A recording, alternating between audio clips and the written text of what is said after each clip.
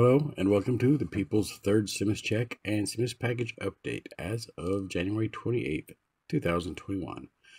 I thank you for joining me for this interesting day of information. So if you'll stick with me, I'll get some good points for you.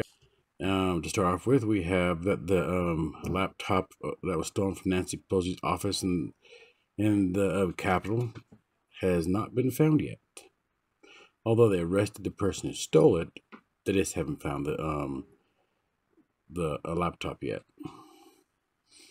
Then President Joe Biden signed two executive actions on Thursday, which is today, related to the American domestic and foreign health care policy. The two actions would undo the damage Trump has done with respect to health care access, he told reporters during a signing at the Oval Office one of the actions includes rescinding the anti abortion policy known as the Global Gag Rule. The Global Gag Rule. Not nice, right? And then Representative, Representative Alexandria uh, Cortez, a Democrat from New York, leveled Senator, leveled Senator Tom Cruz on a twit on on Twitter on Thursday, today basically, is stated that AOC sent out a tweet demanding answers about why the finance uh, tapping app Robinhood disallowed users to free track stock, trade stock.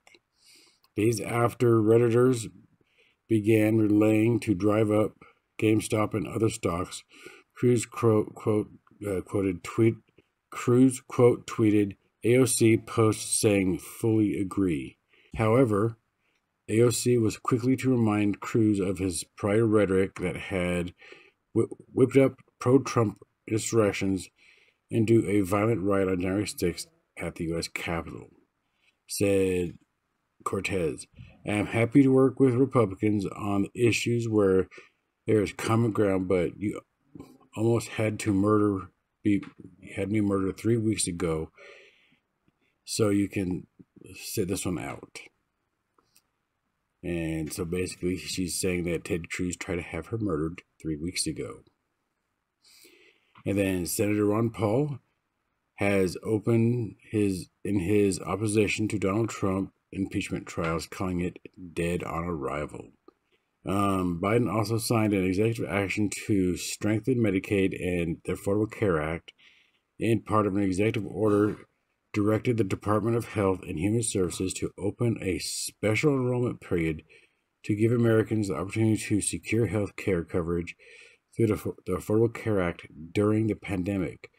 The order was inst- instructed federal agents to review Trump era policies that undermine health care protections for Americans. So basically, he's expanding the uh, Affordable Care Act and abortions access. That's good, right? As Congress prepares for the second historic impeachment trial in a country that nearly thwarted institutional collapse, the lawmakers who led Donald Trump's first impeachment has a frank message for Republican colleagues who have called for harmony since the deadly U.S. Capitol riot. And President Joe Biden signed multiple executive orders on Wednesday for climate control and crisis, including the establishment of a council that prioritizes environmental justice in communities that are most affected by climate crisis. Two of Biden's White House climate advisors spoke with. Now, this is about a plan to transition to science based policies and grow the economic economy of new jobs. Georgia Rep. Marjorie Taylor Greene po- uh, past posts on social media are being used against her in an effort to expel her from the House. The Senate has rejected a Republican attempt to dismiss former President Trump's second impeachment trial, a vote that allows the case on instrument, instrument of insurrection to move forward. So he, he will be. And the Department of Homeland Security has issued a national terrorism advisory system bulletin today due to a heightened threat environment across the United States. Though the department says it does not have any information to indicate a specific credible plot, it does warn that ideology motivated violence extremists could pose a potential threat to the U.S. in the upcoming weeks. And then Texas Rep. Kyle, I can't say his last name, has filed a House Bill uh, 1359, otherwise known as the Texas Independent Reform Act. If passed, it would allow Texans to vote on their plan to achieve Texas's independence. The Lone Star State wants to stay the Lone Star State, basically. And then years after, the former President Donald Trump cozies up with Russian President Vladimir Putin to the mass confusion and concern of the U.S. intelligence community and national security officials, newly inaugurated President Biden confronted Putin, Putin about five issues Trump never did in his first phone call with the Russian leader. I mean, as I was checking my sources out today, I found out that um, the Democrats in the Senate are hoping to work with the Republicans, but if all else fails, the Dems can still use reconciliation to pass parts of the stimulus package.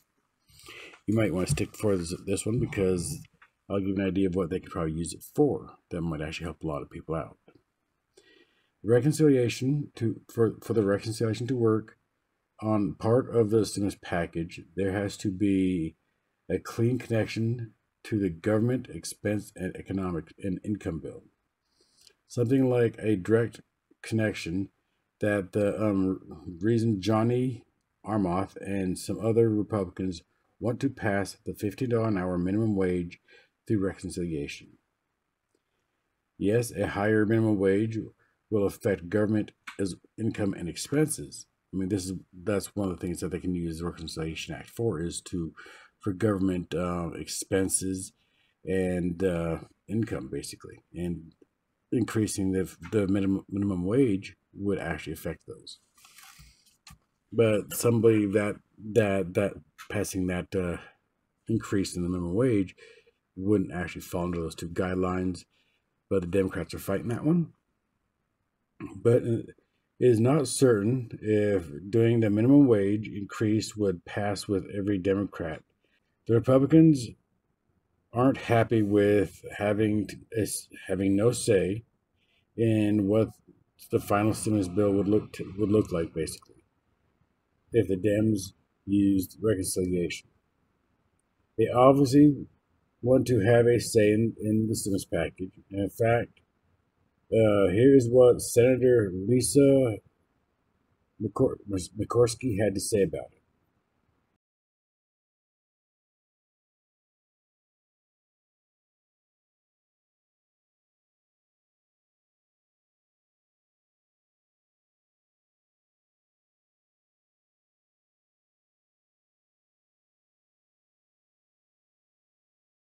The problem with this is the um stim- with the stimulus, it is time sensitive. The Democrats want to pass something quickly. CNN, CNN said that Biden is still seeking for a bipartisan stimulus package, but he will use reconciliation if needed to pass off uh, his 1.9 trillion dollar bill.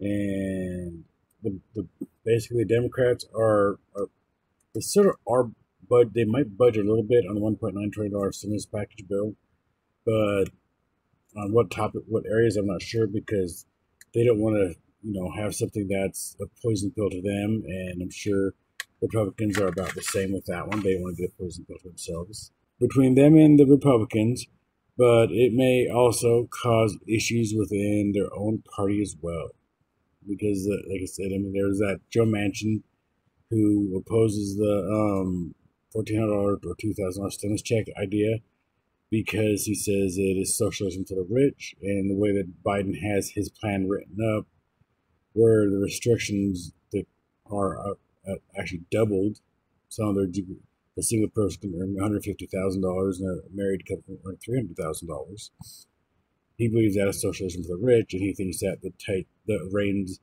on the how to qualify for these checks should be more tighter. And I, I, I do agree with him on that because I was earning hundred fifty thousand dollars a year, I mean, yeah, I'd grant you I'd live in a house, but I wouldn't be living in like a, a, a five bedroom, six bath house. That's just ridiculous. I mean, those people that actually decide to overspend their budget and they don't have a family yet, and they live in a house that big, I hate to say it, they sort of put themselves in that situation. Okay, one of the top, on the top of the this, and adding to the um, tension, a group of 50, 56 progressives in the House signed on to a, a letter from the representative, say Omar, that's his last name, to Biden and Harris, asking them to consider recurring direct payments instead of a one-time installment. In fact, I'll let you do what they said right here.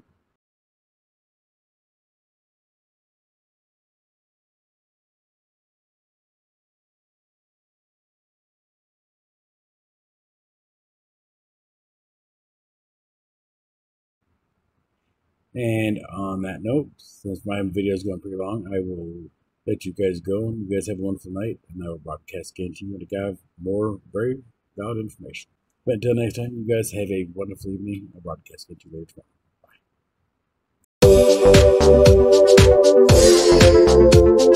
Thank you.